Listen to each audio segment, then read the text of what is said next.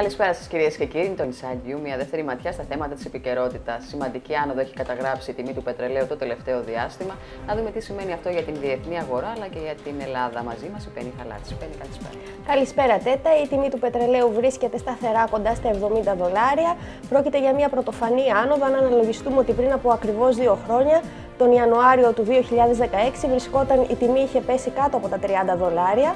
Βέβαια αυτό γεννά ένα εύλογο ερώτημα για το πόσο θα συνεχιστεί αυτό το ράλι της τιμής του πετρελαίου, ε, για το αν θα συνεχίσει να είναι σε αυτά τα επίπεδα, αν θα φτάσει και τα 100 δολάρια που μπορεί ε, ε, κάποιοι αναλυτές υποστηρίζουν ότι θα συμβεί κάτι τέτοιο.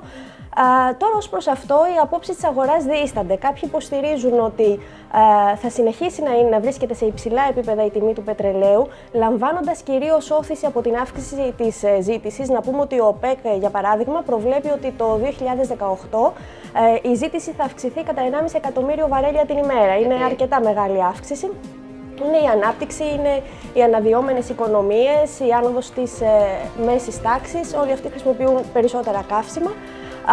το άλλο κομμάτι το οποίο ενθαρρύνει την ε, ανωδική πορεία είναι οι γεωπολιτικοί κίνδυνοι, οι οποίοι πάντα δίνουν μια όθηση στην τιμή του πετρελαίου, είναι οι σχέσεις της Ουάσιγκτον με την ε, Τεχεράνη και πολλά άλλα τέτοια στοιχεία.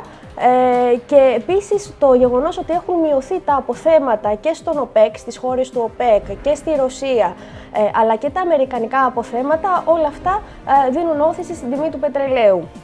Από την άλλη υπάρχουν και κάποιες πιο μετριοπαθείς απόψεις, όπως είναι εκείνη ε, της ε, Σαουδικής Αραβίας, όπου ο Υπουργός Ενέργειας υποστηρίζει ότι θα επέλθει μια διόρθωση στην τιμή, μια ισορροπία ουσιαστικά, γιατί η διόρθωση υποτίθεται ότι γίνεται τώρα μια ισορροπία και η τιμή θα σημειώσει μια σχετική πτώση μέσα στο 2018.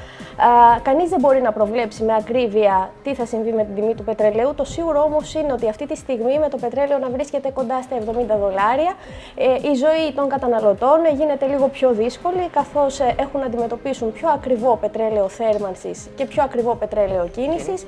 Ακριβένουν οι μεταφορές, τα logistics και φυσικά η, η τελική τιμή των προϊόντων ε, στο ράφι.